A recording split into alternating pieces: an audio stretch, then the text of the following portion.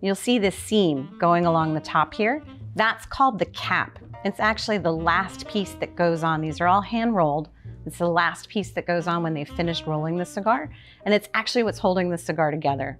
So if you were to cut below that, you'll actually find that the cigar will start to unravel on you. So the first thing you want to do is find that seam and line up the blade right above that seam, the cap. You're just trying to take that top piece of tobacco off.